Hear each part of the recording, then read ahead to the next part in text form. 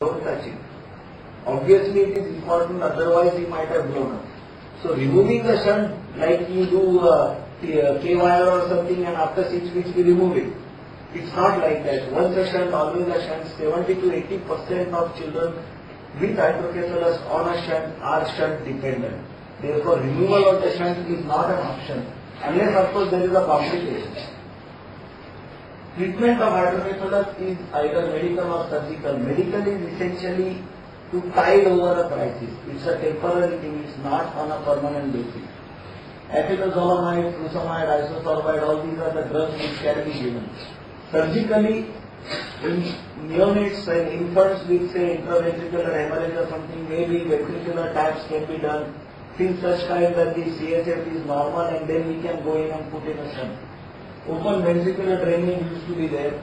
Intracranial shunts used to be done. Extracranial shunts are still being done, that is either a ventricular peritoneal or a ventricular atrial. And now in certain cases, we do what is known as ETV or endoscopic third ventriculostomy, where you do a fenestration like you see over there with an endoscope.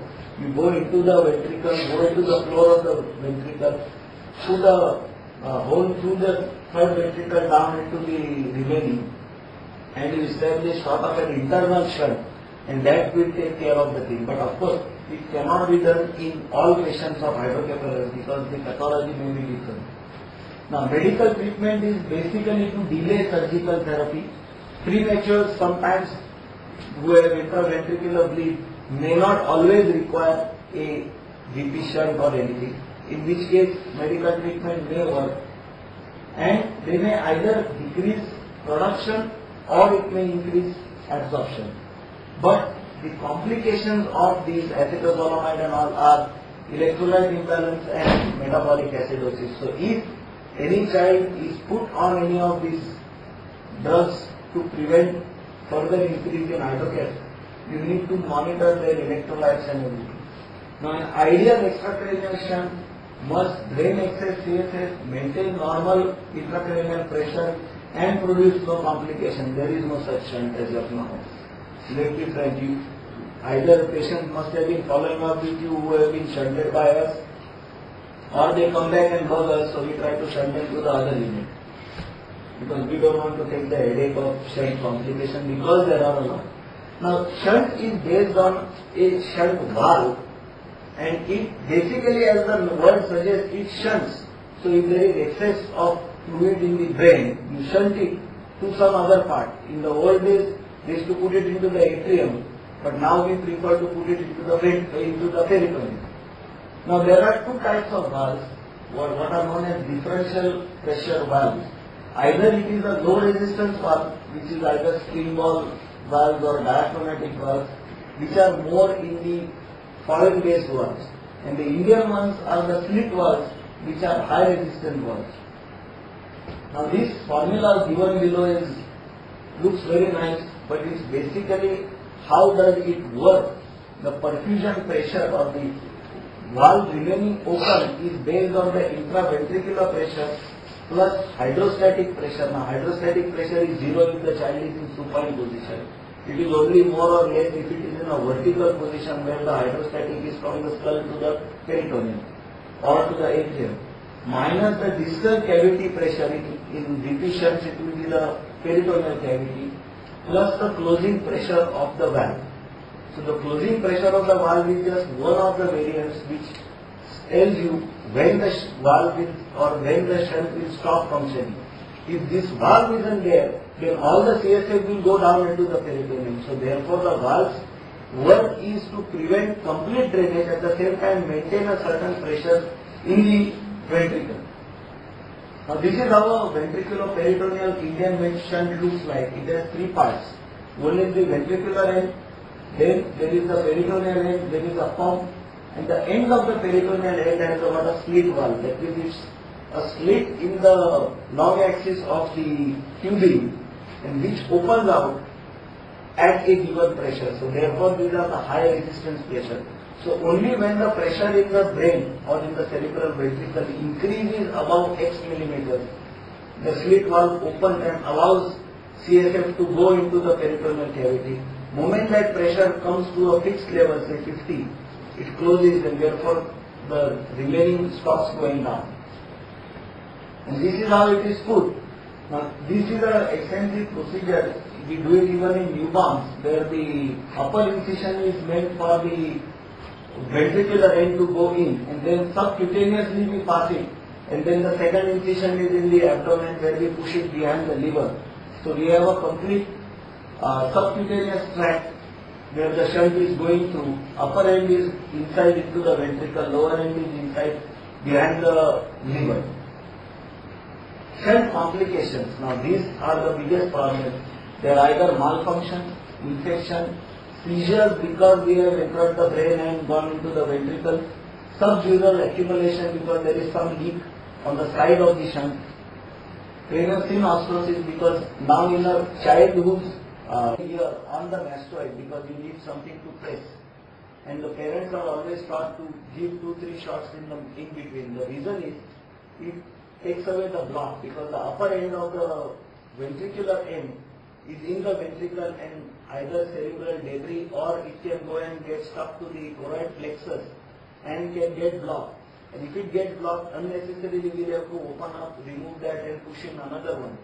So by doing the pump, it sort of um, like we do for the bathrooms, we keep the channel open, both the upper and the lower. As well as the pump is useful because when we want to check whether the upper end is blocked or the lower end is blocked. This is how we do it. When we press the shunt, if it cannot be pressed, that means the lower end is blocked because when you press it, it pushes the CSF distally. Now if we cannot just push in that pump, that means the lower end is blocked. If it goes inside and then doesn't get refilled, then the chances are that the upper end is blocked. So we know where to exactly put in our incision so that we get rid of the obstruction. Here there is. It suddenly blocks here. Beyond this there is no shunt. That means it has fractured, it has disconnected and that's the cause of the problem. Infection can be either outside or inside. Outside is along the shunt tract on the subcutaneous region or inside is within the shunt what is known as shunt colonization.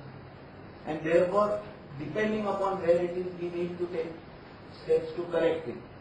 Unique to a ventricular peritoneal shunt because suddenly you are producing ascites artificially by pushing in a lot of CSF into the peritoneum. So if there is a patent processus vaginalis, you are going to get either an inguinal hernia or a hydrocele suddenly coming up and the parents get suddenly what happened, he put in the shunt and he has got hernia. So it's just that patent processus vaginalis which has now been filled up by the CSF which has come from above. Ascites cyst formation, intra-abdominal cyst can be found in which case they can get obstructed and we need to remove the uh, shunt and push it into another place in the peritoneal cavity. Intestinal obstruction, volvulus, because the shunt acts like a, a band around which the intestines can go around and therefore can give rise to obstruction. Very often we have seen, or not very often, but we have seen shunt coming out through the umbilicus, coming out through the rectum and the parents thinking this is some sort of a worm. But basically it was just the lower end of the peritoneal end of the depression which has gone through the rectum and has come out. Spread of neoplasm, if there is a malignancy or um, CA in the brain along the shunt tract, it can come down. Infection in the peritoneal cavity, post meningitis, if we have put, that can come down straight. We are giving a direct access to the peritoneum primary peritonitis is. Now, once the shunt gets blocked, of course, headaches, vomiting, lethargy, and certain subtle signs may come. The prognosis is depending on the cause of the hydrocephalus. Now 50% of intraventricular hemorrhage may require a shunt, which means 50% may not require. So therefore, again after removal of posterior fossa tumor, only 20% may need a shunt, 80% may not require a shunt. And if we are getting a satisfactory control with medical therapy and stable signs, we can hold on without putting in a shunt. Now, as I said before, we are making an antenatal pickup of many structural anomalies in all the um, systems of the body in CNS is number one. Highest number of antenatally picked up uh, structural deformities are in the CNS, in which about 12% may be lethal and prognosis cannot be made only on imaging. And this is very important that we seek to counsel the parents. Because when we sit and talk to the parents, we can only tell them what are the chances, what are the problems associated with, say, hydrocephalus or with hydranencephaly or with meningomyelocele. We cannot tell them that this child has this, this, this thing. We just tell them that your child may have any one or more of the following. And that is important because sometimes we make statements which do not corroborate with what happens after the birth of the child. Because it has happened with meningomyelocele where we have talked to the parents, told them that there may be paraplegia or paraparesis, there may be bladder bowel incontinence, there may be hydrocephalus, and we may need to do a lot of surgeries. When the child is born, the meningomyelocele is there, there is no hydrocephalus, no paraparesis, no bladder bowel. And they say, what are we talking about told us that these, all these things could happen. I said, exactly, it could happen. I didn't say they have happened.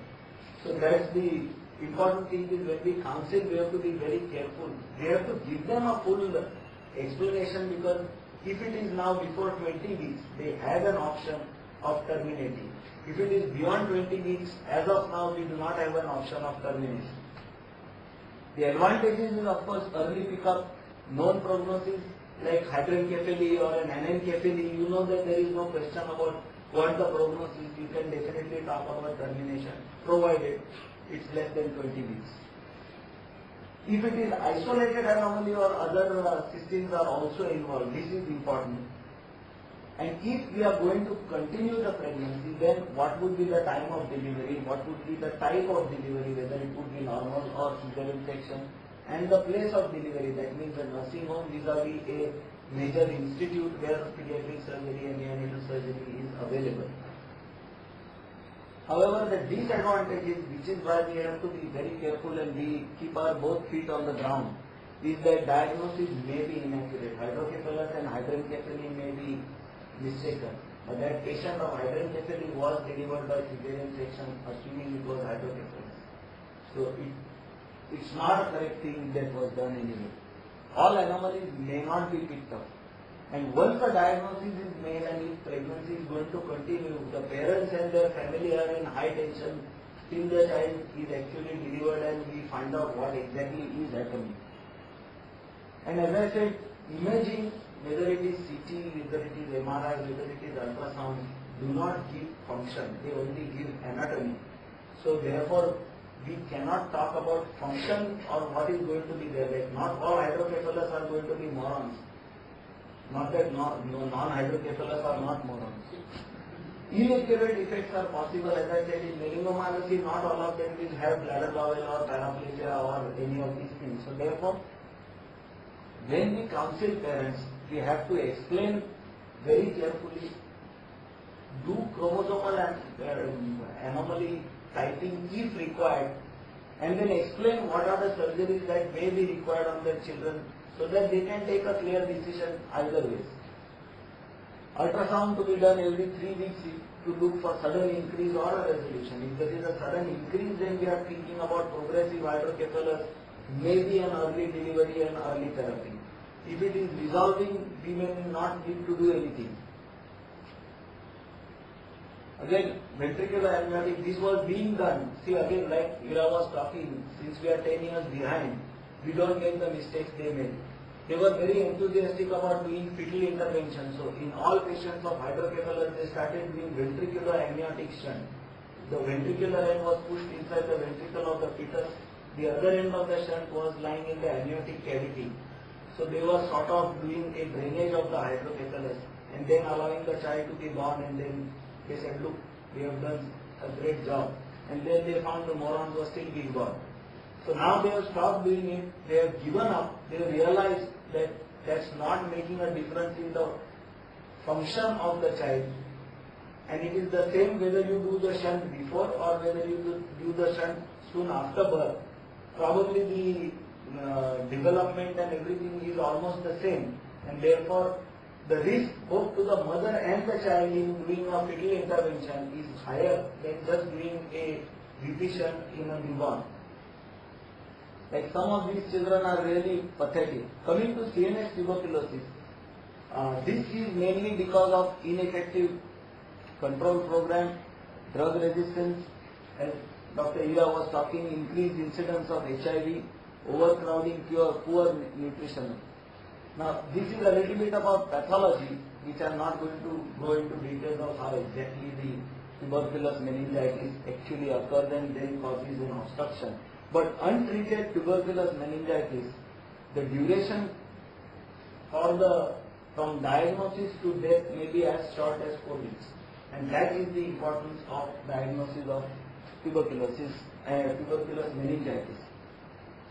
Now hydrocephalus is due to either obstruction of the basal system, obstruction of outflow of fourth ventricle, occlusion of aqueduct by tuberculous exudate, and commonly as I said acquired are usually the communicating, not the non-communicating.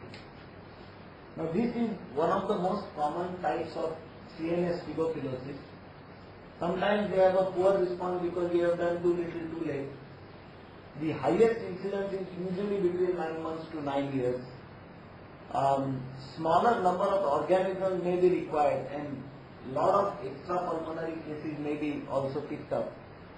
And it's a complication of primary infection within 6 months. So therefore, once you get a pickup of a tuberculosis, be careful that these, these children, especially in infants and all, they don't go in for a tuberculous meningitis. Presentations, fever headache, maybe seizures, focal neurological deficits and rarely coma. Of course, the CSF diagnosis should be done and I'm not going to go into the details about the therapy for tuberculosis per se. But indications for shunt in tuberculosis meningitis is either a failure of medical treatment and progress of hydrocephalus. If there is a hydrocephalus which is already obvious, a cerebral abscess which is there, tuberculosis with coma, spinal arachnoiditis and a CSF protein less than 100 milligram you can go ahead. If it is more and you put in a shunt, the shunt is likely to get blocked and therefore may not work and you have to take out the shunt. So in those cases you may either do a ventric tap or there is a reservoir in, which is with a ventricular uh, catheter inside. So you just keep pricking the reservoir and withdrawing the, the CSF in order to keep the tuberculosis under uh, control or the hydrocephalus. So